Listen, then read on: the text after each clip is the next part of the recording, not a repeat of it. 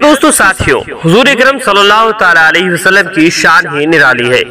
यहाँ पर हम आपको बताएँगे कि किस तरह से एक दीवाने ऊँट का वाकया, जिसको सुनने के बाद आपका ईमान ताज़ा हो जाएगा। बनी निजार के एक बाग में एक दीवाना ऊँट घुस आया। जो शख्स भी उस बाग में जाता था, वो ऊँट उसे काटने को दौड़ता था। लोग बड़े परेशान थे और हुजूर अकरम सल्लल्लाहु अलैहि वसल्लम की खिदमत में हाजिर हुए और सारा किस्सा अर्ज़ कर डाला। यकीन दोस्तों, साथियों, जब कोई दीवाना ऊँट कब्जे से बाहर हो जाता है तो लोग काफ़ी ज़्यादा परेशान हो जाते हैं, काफ़ी ज़्यादा टेंशन में आ जाते हैं। यहाँ पर भी ऐसा ही मामला हुआ कि जब वो ऊँट जंगल में बाग में घुस जाता है, लोग परेशान हो जाते हैं। लोग उसको काबू में करने जाते हैं, लेकिन वो लोगों को काटने के लिए दौड़ता है। तो ऐसे में लोग प्यारे आका सल्लल्लाहु अलैहि वसल्लम की बारगाह में पहुँच जाते हैं।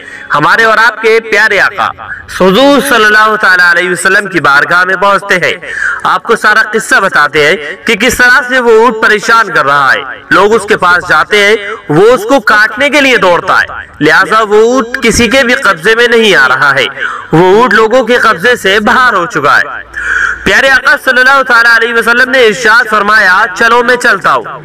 चुनाचे प्यारे अलैहि वसल्लम उस बाग में तशरीफ़ ले गए और उस ऊँट से फरमाया, इधर आओ। उस ऊँट ने जब रसूलुल्लाह सल्लल्लाहु वसल्लम का हुक्म सुना तो दौड़ता हुआ हाजिर हुआ और अपना सर प्यारे आका सल्लल्लाहु वसल्लम के कदमों में डाल दिया। दोस्तों, ये वही ऊँट था जो कि किसी के कब्जे में नहीं आ रहा था। ये वही ऊँट था जिनने की सारे बाग को तहस नहस कर दिया था। ये वही ऊँट था जिसके पास जाने की लोगों की हिम्मत नहीं हो रही थी।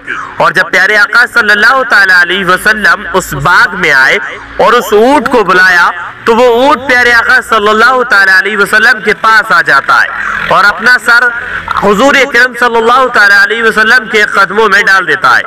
प्यारे आका सल्लल्लाहु अलैहि वसल्लम ने फरमाया, इसकी नकेल लेकर के आओ। नकेल लाई गई और हुजूर सल्लल्लाहु अलैहि वसल्लम ने उसे नकेल डाल करके उसके मालिक के हवाले कर दिया और फिर वो आराम से चला गया। हुजूर सल्लल्लाहु अलैहि वसल्लम ने फिर सहाबा इकराम से फरमाया, काफिरों के सिवा मुझे जमी और आसमान वाले सब जानते हैं कि मैं अल्लाह का रसूल हूँ। प्यारे आका, सल्लल्लाहु अलैहि वसल्लम की शान ही निराली है।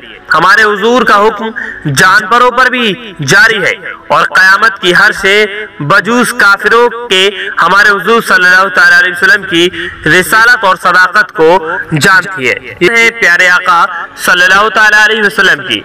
दोस्तों, साथियों, तमाम तरह की वीडियोस हमारे चैनल पे पाने के लिए हमारे चैनल को अभी सब्सक्राइब करें।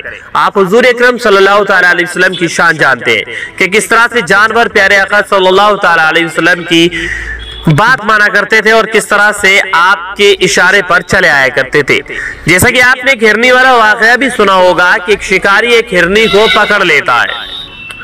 वो हिरनी काफ़ी ज़्यादा परेशान हो जाती है। लेकिन जब हुजूर अकरम वसल्लम को आता हुआ जंगल में देखती है तो हजूर वसल्लम को सारा वाकया बताती है।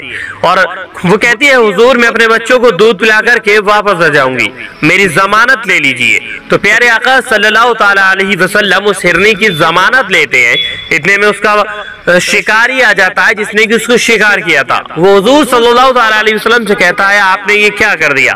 तो हुजूर वसल्लम फरमाते हैं, वो अपने बच्चों को दूध पिलाने गई थी। इस तरह का वाकया आपने सुना है कि किस तरह से वह अपने वक्त पर बच्चों को दूध पिला करके आ जाती है। तो ये शान है प्यारे आका वसल्लम की। वीडियो अच्छा लगा हो तो अपने दोस्तों में इस वीडियो को ज़्यादा से ज़्यादा शेयर कीजिए।